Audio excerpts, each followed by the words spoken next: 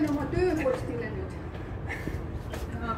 ja see on siis selline metallredel, mis on peaaegu püstloodis. ja pisike luuk, millega see lükkab. ja me oleme siis praegu